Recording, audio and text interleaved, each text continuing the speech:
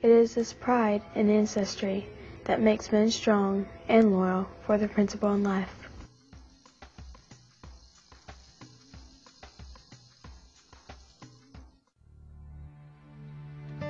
Can you tell just by looking? Who can be a Cherokee citizen?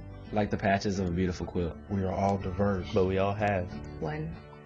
One. One. One. At least one Cherokee ancestor. This is what makes us citizens of the Cherokee Nation.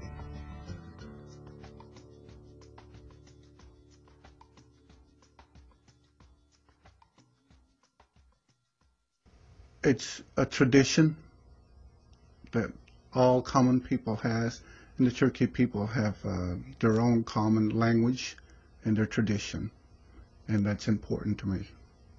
It's important for me to be Cherokees because it was given to me by my ancestors through their blood and remember their history. It's what I feel is very important to learn about and to know about.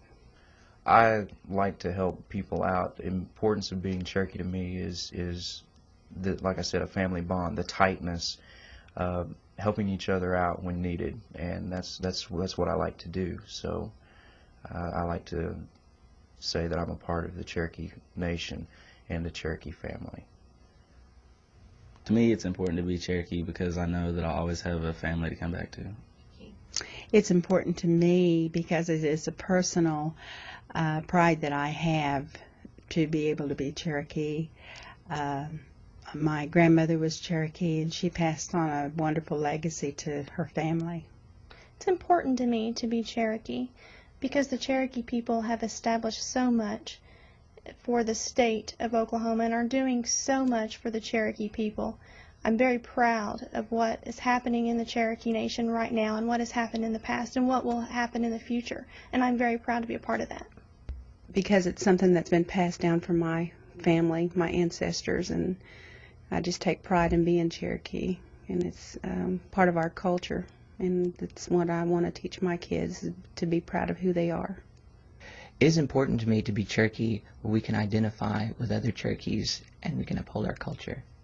It identifies us. It um, it keeps us separate from the rest of the world, and that's one thing that um, helps me to keep my head high every single day, and to walk proud and um, and to be proud on Cherokee. And then so many people um,